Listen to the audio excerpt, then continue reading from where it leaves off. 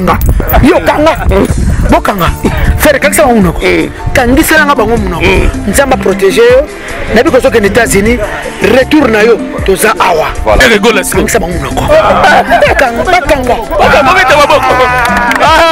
benzora benzora toza awa président magoloa blanchard mapuya eza zalonga naloba nga mikolo na goloa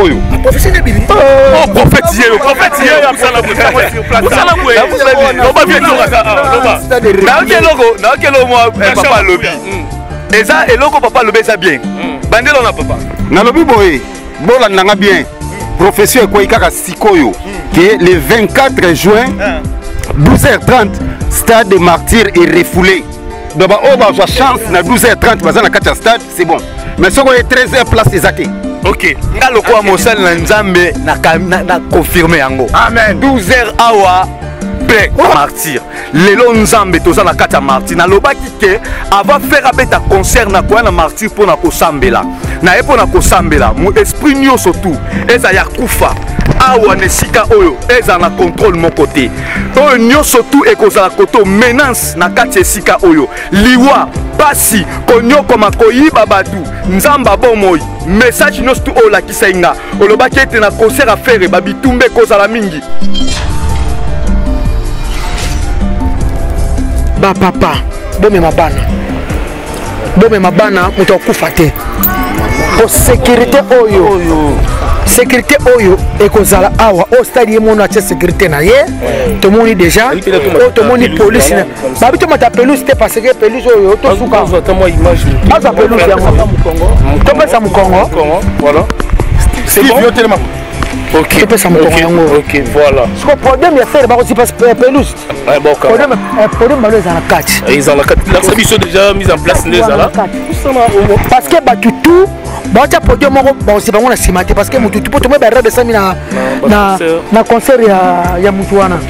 Ah, olobi berere semi na concert ya motu wana bato ya nsima kote oyo mm. balomona concert te yango biso sikoyo bakotya fere na kati eh, ah, auta na helicoptereamani koloba donc venzoka olobi concert ya fere changement de fréquence changement d'adresse chez djonga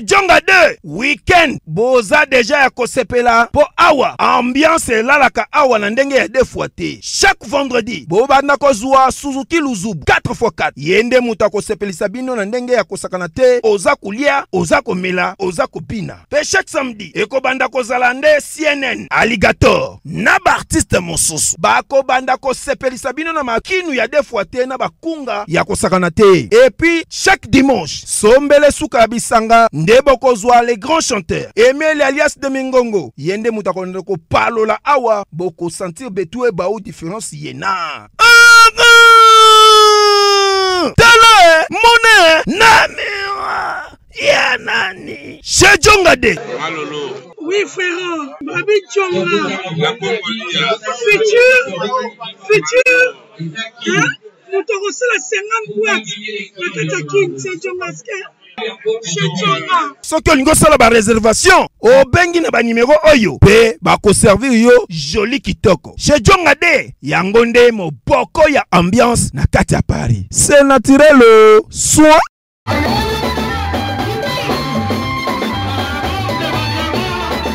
Créteil, Créteil, Créteil. Nabengi yango trois fois. Na ville oyo Nzambe apesi biso mpo na kosala misala ya bonganga ya nzambe nzambe oyo abengi nga kobanda bomwana na oyo etali prophetie mpe délivrance nazala baptisé mpe apôtre bolia ya église bima na témoignaka parce que nayekoli prophétie nayekoli délivrance na nayebisa motu moko azolanda ngai peut-être oyoka me nano ozwa okazwa koya te nabondeli yo na nkombo na yesu meka na nzambe na ngai toza dimanche à partir ya 13h30 service ya prophétie ebandi na délivrance yaka meka dimanche eza na bamaladi oyo esilaka te oyo tobengi bamaladi incurable possession ozolanda boza kodute longola na dute yango pembeni meka na nzambe napesi yo nimero ya contact benga ndenge ozolanda sikoyo 07 66 27 40 02 obota te wana problème ya sante makambo ezoderange obanda oza na poto esimbaka te sikoyo nzambe na ngai aza pre mpo abikisa yo adelivre yo toza na kretei nzambe apambola bino nyonso sacerdoce erataka te jamais erata yo nde oza invité na ngai dimanche na 13h30 moto ya ezala yo merci je suis la servante claudine du ministère pour christ pour tous à paris nous vous attendons tous venez nous rejoindre le dimanche de 13h30 à 16h30 pour notre culte prophétique. Euh, nous sommes situés au 1 voie Félix Eboué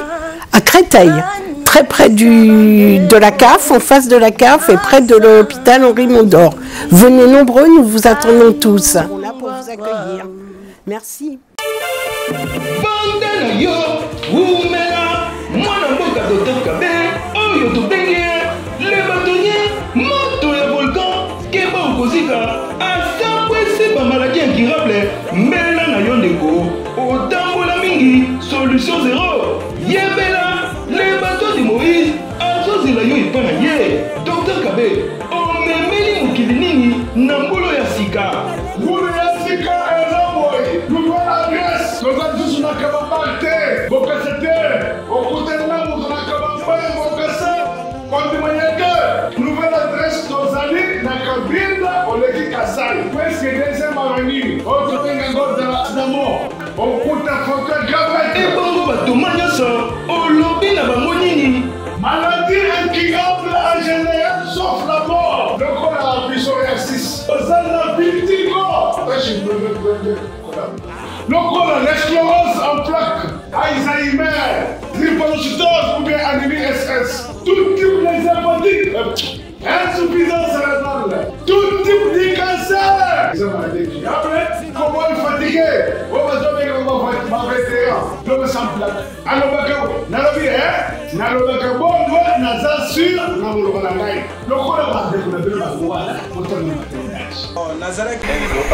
Bonjour mesdames et messieurs, bonjour encore à tous les Congolais de partout. On est sur Bolanda Bissona, Elenga Congo TV, Martin Engi, double vitesse à fusée, Nakati, il y a Stade de Martyr, Bomona qui déjà, présence, il y a Ferregola, Jésus de Nuance, le Padre, Neyemoko, eh, qui visite le eh, Stade de Martyr, Bomona qui ba image, il y a Elenga Congo TV, Neto Laksabino, les lots ensemble, na kisinzora julien botalatala na prophète blanche tokolakisa bino mpenza baimage tokolakisa bino ndenge esengeli mpo na concert ferre gola oyo bato ebele bazokombattre yango vie nzora ye eh? kosala ye mo bamise en place déjà kolakisa bino baimage tozolanda vie nzora alakisa biso ndenge baimage ezali na mosika toza ensemble na prophète blanche merci vraiment na césar pasoti yango iloboko ya nzambe oyo mpe na kisi nzora aosa mosala na ye bien césar pasoti yango iloboko ya nzambe merci mpe na didier shombo petit jésus oyo azolanda biso alors tozokota ensemble avant toyamba vie nzora julien botalatala toza na prophète oyo ya bagaulois azosambela toujours mpo na faire egola prophète blanche stade de martyr oui merci vraiment merci papa martin oyo tolobaki yango ekokisami voilà. bino mo bozomona tolobaki ke le 24 ekorate te mpe erate te mm. je pense ke lobi tomonaki ye moko faire egola jésus de nias ayaki lobi awa okay. lelo biso toye nga prophète blanche oyo nalobaki ke wow. moto akonile concert ya le 24 aza te okay. lelo ekokisami que concert ezali donc voilà concert ezali alors nde lobeka osambela ye mpo na bapano lelo soki okoti mpo na stade marti bosali featuring ensemble na bagolois na julien botalatala na kisi nzora azali awa na kati ya stade martyr vraiment tuka esengo na ngai eza parce que namoni bagola je pense que nde bato bazotala bacomprendre ke makambo eza déjà bien awa eza na eloko te eloko moko eza ya mpasi nde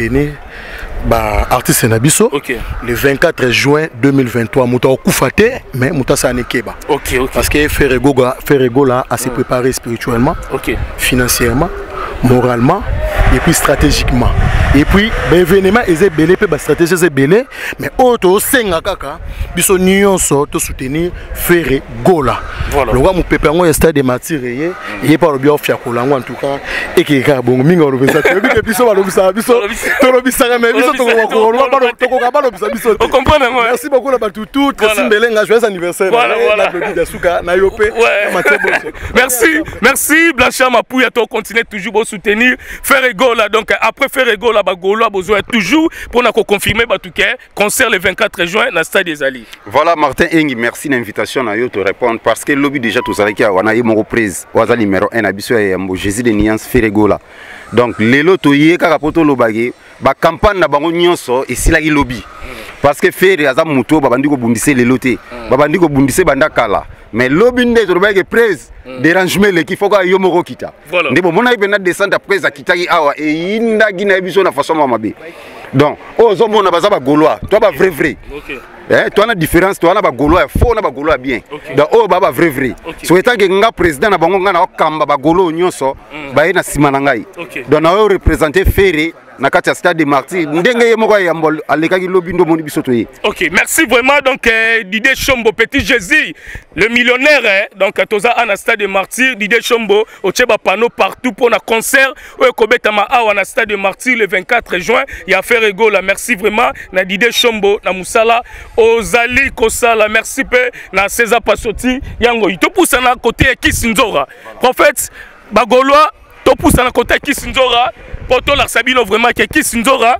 tambola mpena mwa mbangu tambola mbangu mpo na singa kisi nzora aye na stade de marti mpo acontrole mpe nde fere gola ayaki visite na stade kisi nzora mpe aza awa na stade de martyr azali ensemble na bagolois ensemble na julien botalatala ensemble na prophète blanche oyo alobi ke concert oyo moto akokufa ah, aza te balobi paul paul mutu paul mutu paul mutu tobetela na paul mutu maboko maboko nao na paul mutu babi ene ken zero babi oyo atomeli yango okolangwa ah, te ata oza moto ya maladi hmm. balobi 00 eye hmm. okozala mpe osali accident Mm. mais bayebi soki ke mela kisi mai eza te te heneken guines te mm. lef te heneken mm. heneken kaka 00 sans alcool epuis bato yo oyo docteur apekisa yo masanga okomela te eye yango 00 eye paul mutu eh. ba jeune ba baby trop hmm. ba jeune ba baby to left et donc Paul Mutu pena aye pena na makambo bien na kati ya mboka na biso oh hmm. oh bira ki lelo ba jeune matame kwei lokwa bata ba 80 ans pona ba gene ba bifo eh. po po mela rande yango ba bio moni bato boye nde toza besoin bato lokwa ba Paul Mutu musala kitoko ba sala kati ya République démocratique du Congo eh, voilà tala hmm. totalaka yango kaka mm. na ba na bakana liplisi nde bacamerounais baomela nde bato ya guine tala lelo paul mutu paul mutu ekiteli biso lelo ekiteli biso vraiment lelo mm. Mm. en tout cas nzambe protégé et puis le 24 mm. bière oka misato moto ekezala emelamaka kata stadeemelamaka kata stade ndeti ka systeme ya match ya mindele nde ezalaka ozotala eh, match omela oliaezali nango omelo ebwakami na butu ekomelama awa le 24 paul mm. mutu 370 bis okay. mpo na bagaulois mm. yaka na yo mm. mais retour na yo okay. olela te lemba okoti voilà. maluku okoti oruti mokali bokoti ya baolanda te eloko na sepeka ntango nakoti na stade mm. bakisi ezalaka te likolo ezalaka babeton tofandaka fesi pasi tofandaka ta masoko mona fesi pasi fesi pasi mais lelo batie bakiti mpona mpona bato baza à l'aise mpona fere akobeta jésus des nias nga naza moto baslogan nabaki wata aleye ah. nabaki wata longola hmm. wata alongwa nabe patri bekam kanga mboko eh. mais fere egolakangisa bango monoko bakanga bakanga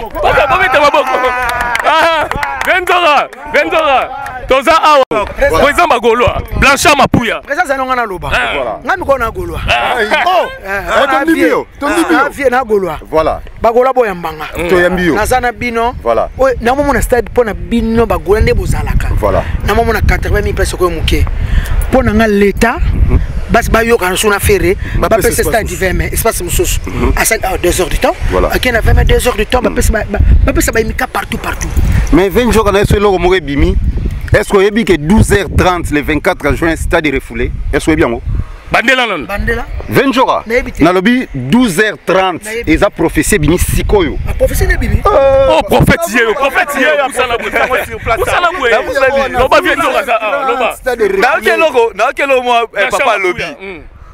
eza eloko papa alobi eza bien mm. bandela wana papa nalobi boye mm. bolanda nga bien mm. profession ekwei kaka sikoyo mm. ke le 24 juin ah. 12h30 stade de martyr est refoulé donc baoyo bazwa chance na 12h30 baza na kati ya stade c'est bon mais soki oye 13h place eza te ok nga lokola mosali na nzambe na confirme yango amen 12h awa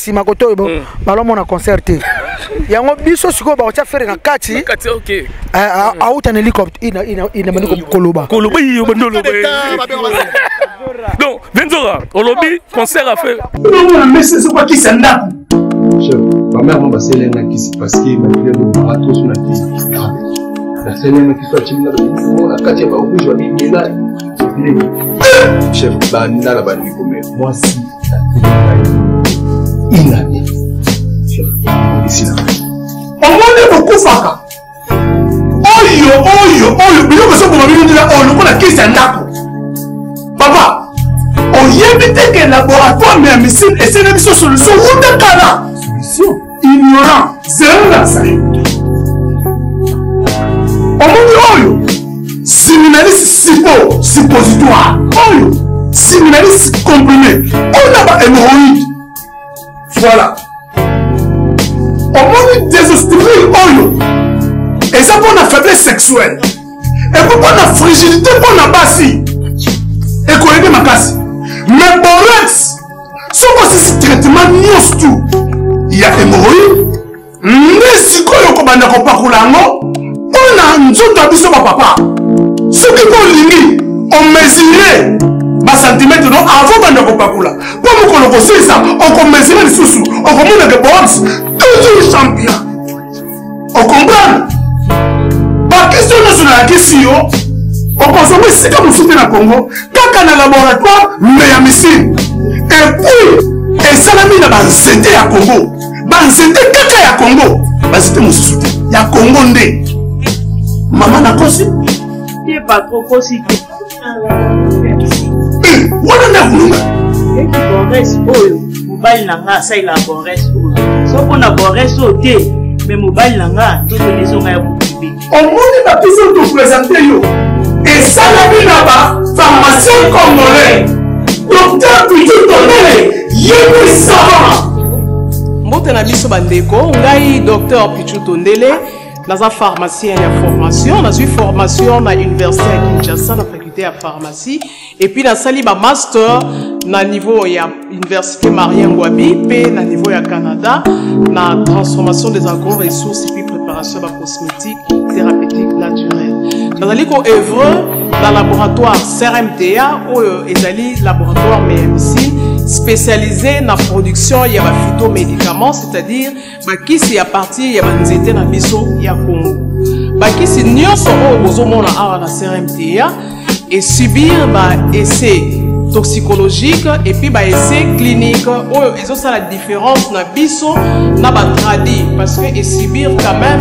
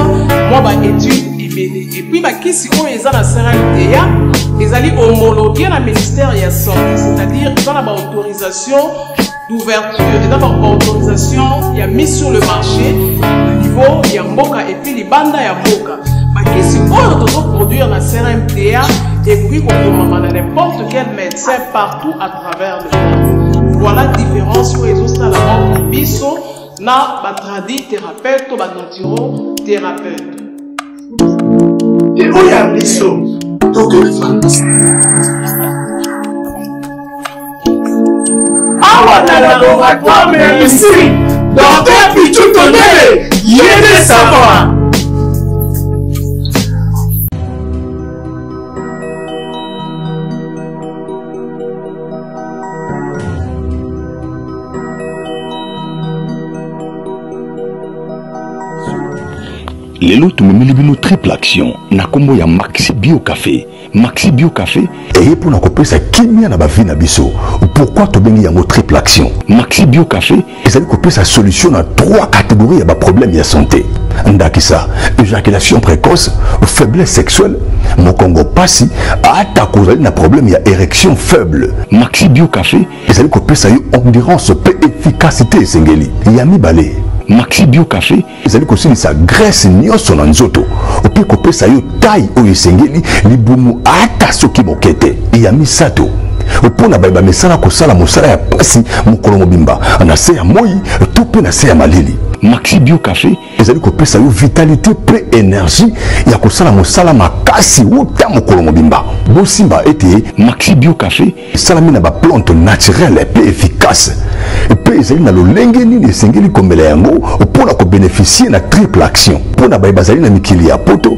baye balingi kozwa maxi bio cafe bolanda biso na nzela ya singa na banimero etiyami wana mpe na baadrese oyo totieli bino maxi bio cafe eye mpo na kopesa kimia na bavie de couple na biso na basante na biso maxi bio cafe ezopesa nzoto kolongono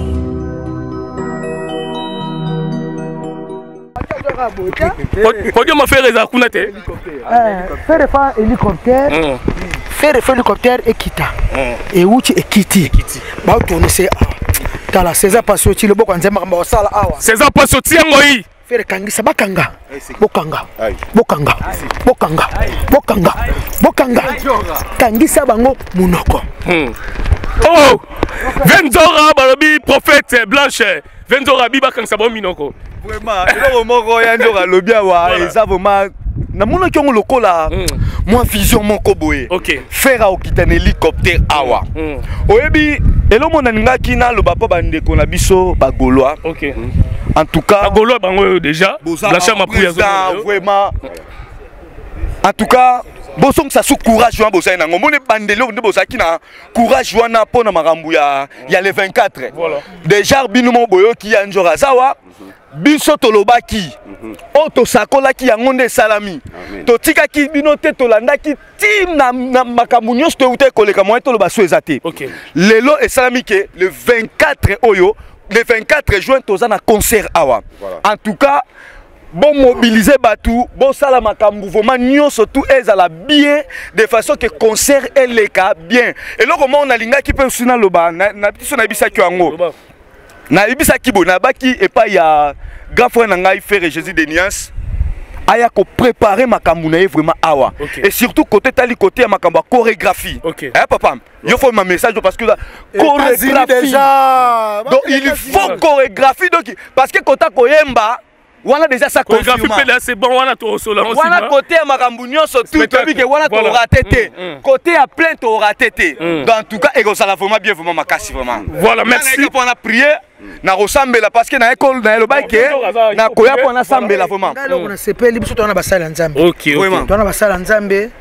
yango toboyi na biso mm. po bamiyela biso po biso moto akufa te mama mema mwana bana bazonga nde ah, bayaki epuis neka na bipone muntu atie 370 bis eza makambo ya je te eza makambo babis ekozala kitoko moto anga bakoti mm. moto amonga fula koti mm. moto anyi na koti moto anyi na koti ti boke boke boke boke babisi mpe kei tomozwa makambo nyonso tu direct tozwa makambo nyonso tu live okay. nde bato bazosomba billet okay. nde bato bazokota na bato bazosomba billet avant, avant okay. nde baza kokota me bastratégie tosala ezali okay. epuis euh. biso eza te biso omoni biere oleve hmm. bato bakosomba yango na awa na prix ya se paul mutu paul mutu atie babiere oyo awa na baguines ekosombama awa na prix ya se eh, biso eza te biere moko boye mibale bapesa biye te hmm. te eza bongo te eza bongo te bato ebele baokama babi fere egola na bapano ba sponsor ezali te ezolekela bazali hmm. bapasoti baza baseza pasoti baza bapolo mutu baza yango oyo ti baza te mpo na nini hmm. eza kaka bajalou namoni mosusu bapanzi bapano ferepanzi na stade awa kota stade awa bapanzi bapano bajalou bazoba obobanga te bokanga monoko jour yango bokokanga monoko merci gile motalatala bagolois bakozala assuré plus qu'assurance à sonas voilà ferre gola a se préparé qui financièrement moralement spirituellement et puis stratégiquement ouais. donc euh, pepele donc bagolois bazala pio ndenge vieux nzora otoloba na slogan na ye kangisa bango monoko voilà le 24 juin à wawa bato bakokufa te voilà merci na eloi zemo patas na kati états-unis na pesi yo mbote merci na ladi mfumu mokonzi ya loste motema ya mama arlette fumu merci vraiment na didie shombo petit jésus Didier Chombo Petit Jésus toza na, na stade de martyr ensemble na Kisinzora ba Gaulois Julien Botalatala tozo contrôler toujours stade de martyr Didier Chombo ah, Petit Jésus ah to sala VIP hmm. ah na ah on a tribune eh, tribune ah to sala VIP hmm. ah Vienzora zo laksa biso mise en place déjà de Salama 00 00 bato bamela baguines baza awa eh, bamela masanga emelamaka yango hmm. masanga biso te awa omoni awa na vip awa tokotya vip awa bakotya yango mpena tapi susu ya kitoko wana stade matie moko aprépare bato bakomela balef awa masanga ekemelama a na stade yango oyo bajeune botika gene botika lotoko bajeune bokomi lokola bana ba 16 ans 20 ans bokomi lokola bato ba 80 ba 70 ans ok paul mutu asali biso biloko ya bien yango asali tala masanga fashion yaki lelo paul mutu lef ezotekama na superman eza propre hein? ya propre babutei nango na supermarché nyonso vila kinshasa oyo nde ata ozobela ata basali opération sikoyo mela henken 00 elie na kinshasa paul mutu kangisa bango monoko paul mutu kangisa bango monoko paul mutu kangisa bango ferre mpe akangisa omoni bino boloba trop voilà bobanga moyembi nde alinga yemba babi moyembi nde alinga yemba biso tina bino biso tina bino boyemba te biso tina bino bobeta baconcert ya mabe bongo spectacle eza te sikoyo moyembi alingi ayemba ferre orevaka stade okala osala clip ya vita imana ngai nayebi eza tour non se tonto kangisa bango be ngonga yango ekoki biso tukava biso tukanga bakanga bakanga tokenda so libanda genzora nabwaka kaka motu moko babi tout travaux de plomberie balobi pdg pote malanda de la société hero pro service oyo azotala biso bopesa confiance vraiment pdg pote malanda en tout cas toza na stade de marti ensemble na vie nzora mpo na osala toujours mosala na biso ndenge esengeli merci mpe na karisha sadik la finlandaise mondiale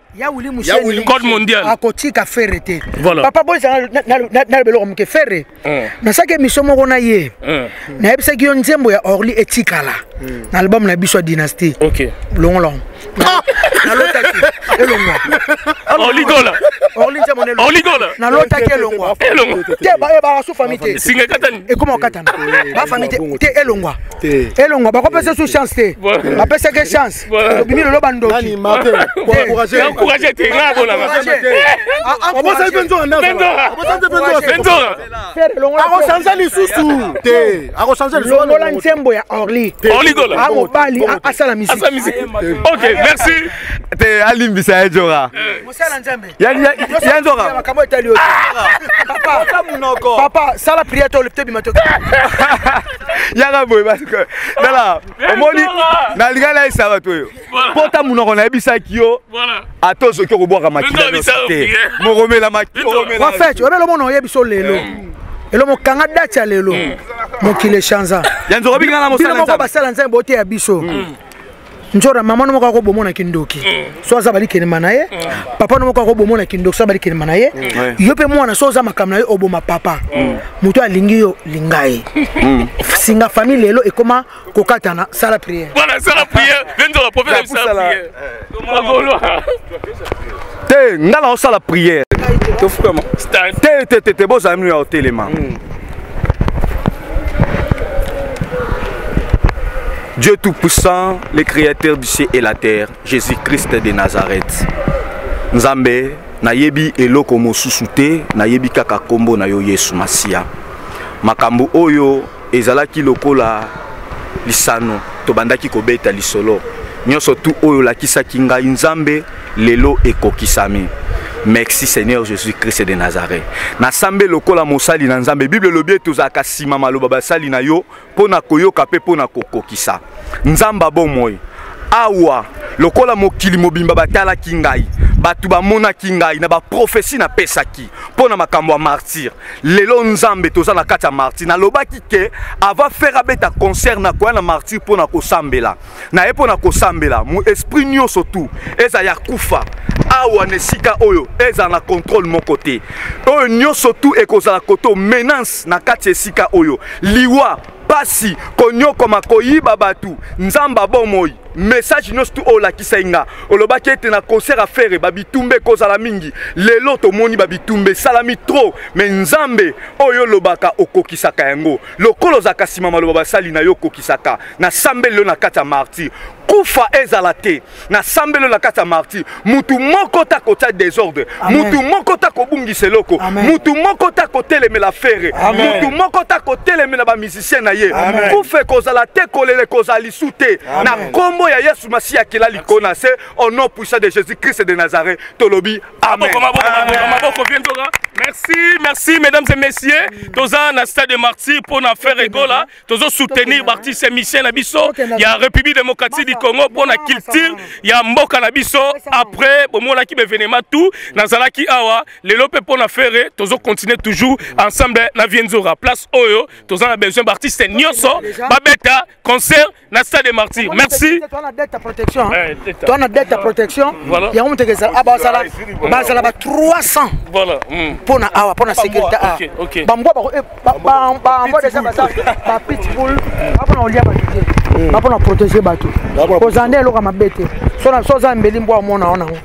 oh. so oza munduki mbo omona wana yango oh, mpo nayebi ke bajalou bazangaka te na makambo lokola bango esimbaki te hmm. babeta te bayemba te bato bakufa ofandisi okimia ya banani esimbaki te bastade ebeti ebele wera na jibe babeti na stade héritier abeti na stade eh, union sacré mpe ebeti na stade eh, fali mpo papa abeti na stade ya banene esimbaki te nalobi eh? mm. le 24 merci elenga congo tv martin engi double vitesse affisé